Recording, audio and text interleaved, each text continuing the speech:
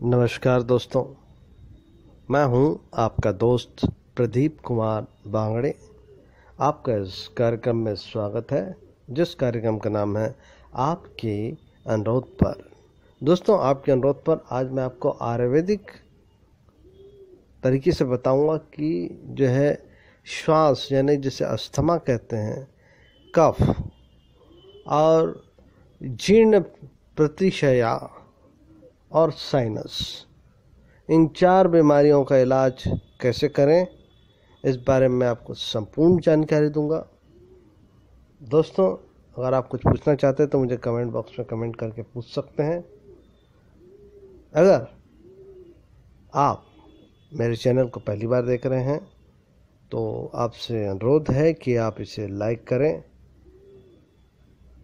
Video के नीचे एक रेड कलर का बटन है। उसे दबाकर सब्सक्राइब करें।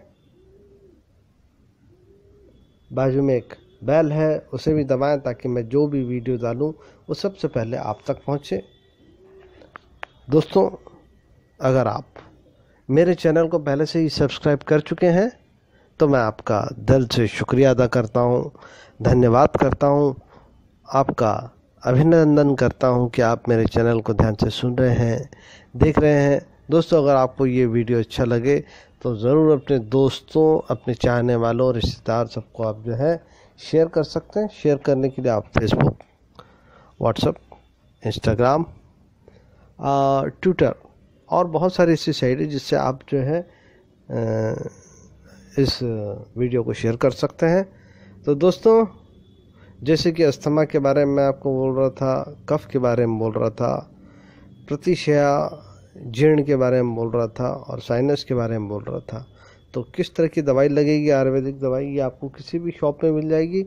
बहुत सारी आयुर्वेदिक दुकान होती है, वहाँ जाके आप ले सकते हैं खुद और ख़ुद खा सकते हैं, खुद इलाज कर सकते हैं। तो दवाई का नाम आप कापी और पेन उठा लीजिए। मैं दो से तीन बार एक एक दवाई का नाम रिपीट करूँगा और उसको कैसे लेना वो भी मैं आपको बताऊँगा। तो सब दोस्तों, भाइयों, बहनों जो दवाई। श्वासारी क्वाथ तो पहली दवाई का नाम है श्वासारी क्वाथ 200 ग्राम। फिर से एक बार नाम सुन लीजिए। श्वासारी क्वाथ 200 ग्राम। दूसरा है मुलेठी क्वाथ 100 ग्राम। मुलाठी क्वाथ 100 ग्राम। तो दोनों औषधि को मिलाकर एक चम्मच, यानी कि लगभग पाँच से सात ग्राम की मात्रा लेकर 400 मिलीलीटर पानी में पकाएँ। तो ये दोनों को डालिए एक एक चम्मच और अच्छे से पकाएँ। 400 मिलीलीटर यानी करीब आधा लीटर के आसपास। और जब 100 मिलीलीटर शेष रह जाए तो छान कर प्रातः, यानी कि एकदम सुबह सुबह खाली पेट, तथा जो शाम को भोजन के बाद सेवन करें। तो ये दवाई को कब सेवन करना वो भी ध्यान से सुन लीजिए दोस्तों।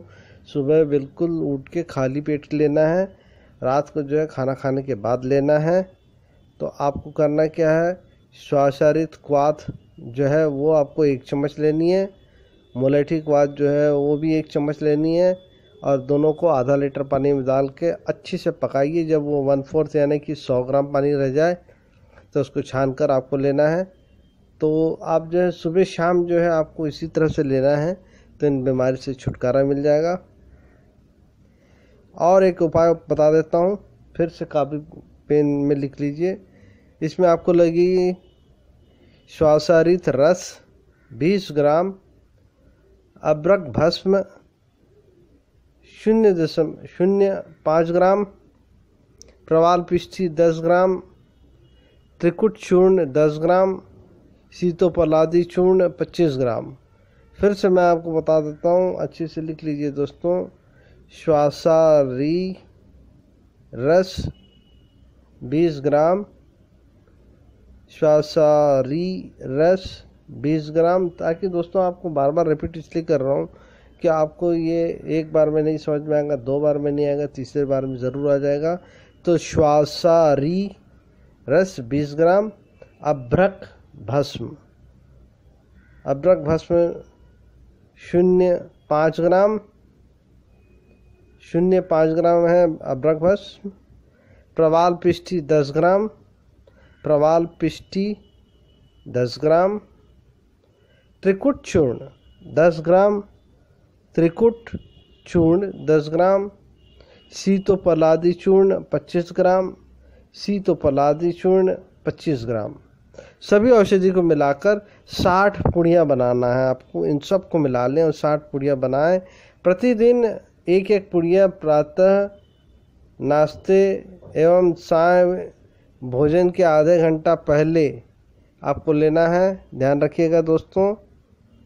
कि आपको जो है नाश्ते से पहले लेना है, सुबह और शाम को भोजन से पहले लेना है। तो ये एक एक घंटा पहले लेना है आपको। किसके साथ ले सकते हैं वो भी बता देता हूँ मैं आपको। इसमें जो है आप जल के साथ ले सकते हैं, शहद के साथ ले सकते हैं, मलाई के साथ ले सकते हैं। तो आप समझ ही गए होंगे चाहे तो आप जल ले लीजिए या फिर शहद ले लीजिए या फिर मलाई। किसी के साथ भी ले सकते हैं। एक एक पुड़िया खानी है, साठ पुड़िया बनानी है, इन सब दवाइयों को मिलाकर। लक्ष्मी विलास रस 40 ग्राम, संजीवनी वटी 40 ग्राम। दोनों में से एक एक गोली दिन में तीन बार, प्रातः, नाश्ते व दोपहर। भोजन एवं साय भोजन के बाद गुनगुने जल से या हल्दी मिलाकर उबाले हुए दूध के साथ सेवन करें। जहाँ दोस्तों या तो गुनगुना जल होना चाहिए या फिर जो है जिस दूध में आपने हल्दी मिला रखी है, वो होना चाहिए। इसके साथ आप सेवन कर सकते हैं। जीवन रोग की अवस्था में एक माह की औषधि में आप जो है स्वर्ण, वसंत, मालिती, रस दो से तीन ग्राम तक मिलाने से और भी जल्दी लाभ मिलेगा।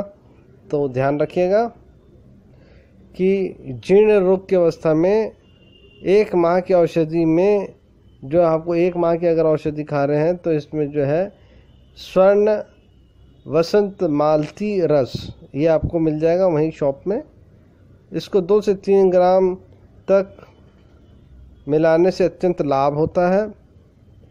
शीत क्षीण की अवस्था में कहरा व पिष्ट पाँच से दस ग्राम मिला लें तो अगर आपको जो है शीत क्षीण हो तो ऐसे में जो कहरवा पिष्ट आपको मिल जाएगा मेडिकल स्टोर में, कहरवा पिष्ट, ये जो है पाँच से दस ग्राम मिला लें और लें श्वास और काश कहने का मतलब ये अस्थमा और कफ के साथ यदि सामान्य दुर्बलता भी हो, यानी कि आपको कमज़ोरी महसूस हो रही है तो शिलाजीत रसायन वट्टी ले सकते हैं एक एक गोली प्रातः और शाम को ले सकते हैं। इसको लेने से आपको काफ़ी लाभ होगा और जो आपकी दुर्बलता, कमज़ोरी है, वो ठीक हो जाएगी। उपरोक्त औषधि के साथ दिव्य धारा जी हाँ दोस्तों, इसके साथ और भी बहुत सारी ऐसी दवाइयाँ होती है जो आप ले सकते हैं, मगर आप ले मत। तो आप जो है, सिर्फ़ डॉक्टरी सलाह से लें। शिरस बिंदु तेल का नस से लेने से विशेष लाभ होता है। क्या क्या खाने के परहेज करना चाहिए वो भी सुन लीजिए। घी, तेल, खटाई, ठंडी वस्तुएँ, केला, दही, आइसक्रीम आदि का सेवन ना करें एवं सुखोष्ण जल का सेवन करें। फिर से आपको बता देता हूँ, एक बार रिपीट कर देता हूँ। घी, तेल, खटाई, ठंडी वस्तु, केला, दही, आइसक्रीम आदि का सेवन करें। और जल भी आप जैसे सुखोष्ण जल का सेवन कर सकते हैं आप।